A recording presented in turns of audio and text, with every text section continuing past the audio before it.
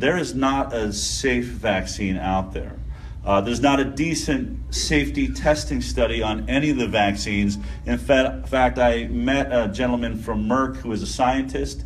He didn't vaccinate any of his kids. And he said, once I started working in the vaccine department, I started looking for the studies on safety, and I could not find a suitable study that made me believe that vaccines were safe.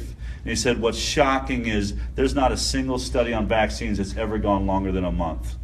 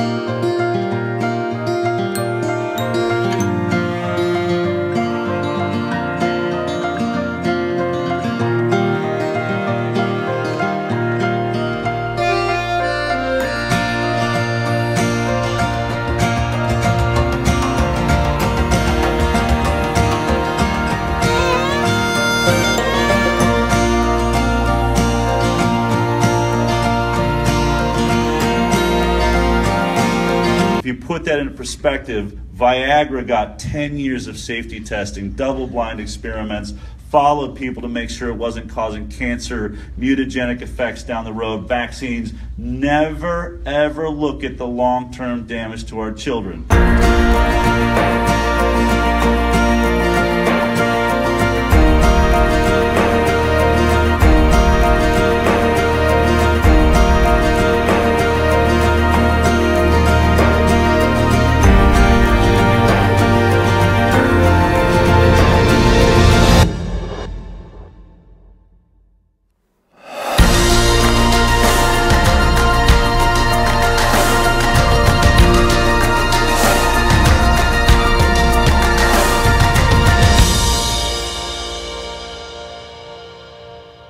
He said, What's shocking is there's not a single study on vaccines that's ever gone longer than a month.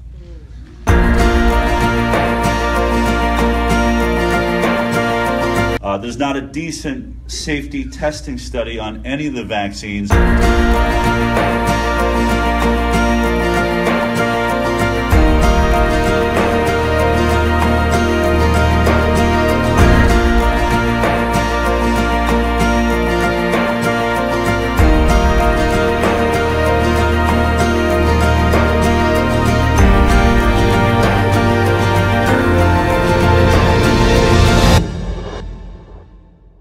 That's what's happening. So when people say, Where are the studies that show that vaccines are dangerous?